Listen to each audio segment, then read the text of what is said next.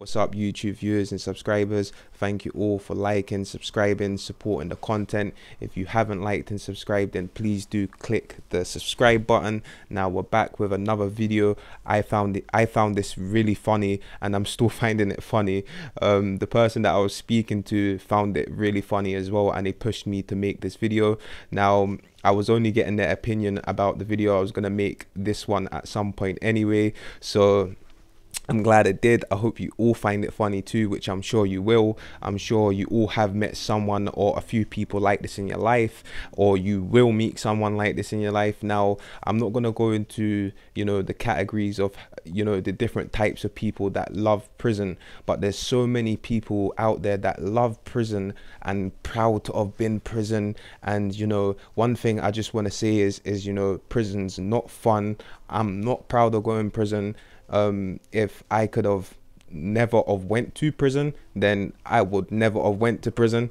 Uh you know so let me just get that point across. I'm not one of those people that love prison certainly not you know. So now i understand why certain people love prison because you know they don't have the responsibilities of on the outside of i.e paying rent electric you know certain you know standard things in life that you should be doing and so forth that they can't be bothered with the responsibilities of. When they go to prison you know they've got a roof over their head they've got heating on all the time you know they only pay one pound a week to you know just for the tv in the cell or 50p so it was when i was in there. So you know they don't have to pay for rent or anything.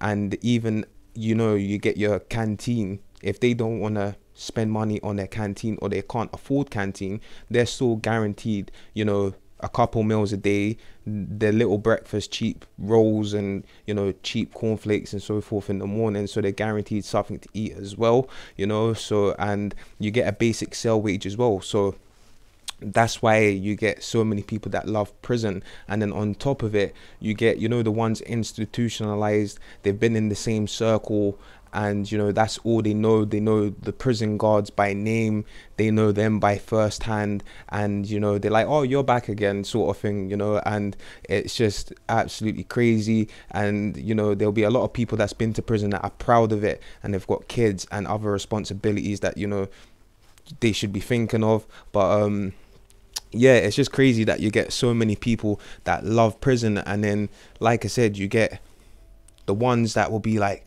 yeah, I've been to prison. Yeah, yeah, and and and they'll gladly tell you they've been to prison, and you know they're not ashamed of it, or you know like to tell you the reasons behind it. They just like the front of, yeah, I've been to prison. But let me just say this: prison's not fun. If you love your luxuries, then don't go. But I hope you enjoyed this video. I've got plenty more content coming. The next one is all about prison for someone that asked a few questions about prison. So I'm going to drop that tomorrow. I hope you all have a good evening and I'll catch you on the next one. Stay safe. Peace out.